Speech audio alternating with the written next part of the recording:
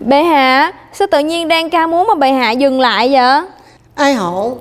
Tại sao đang cam với chậm mà? Ai hậu buồn quá vậy? Không có nụ cười gì hết à. Lễ Giáng sinh tới nơi sắp tới rồi Tết nhất nữa. Mà tại sao cái nụ cười của hậu nó mất tiêu rồi? Thường ngày đã chấm rất mê cái nụ cười của ai hậu.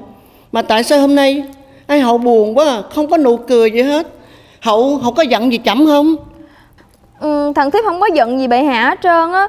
Nhưng mà bệ hạ coi nè Răng của thằng thiếp hư hết trơn rồi Còn hơi sức đông nữa mà cười. Ây chà chậm sơ ý quá. Đâu để bây giờ chấm nghe quần thần nói à, Có một chỗ làm răng rất là đẹp.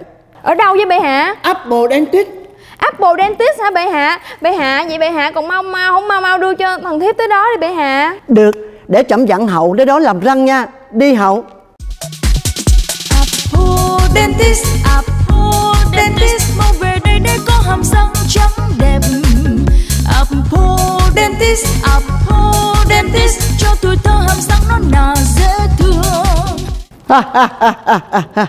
Ta đã tìm lại được nụ cười xinh đẹp và duyên dáng của hậu rồi. Apple Dentist đúng là quyết định sáng suốt. Từ phương xa anh về min Houston em lại. Đến một lần mới thấy rằng mình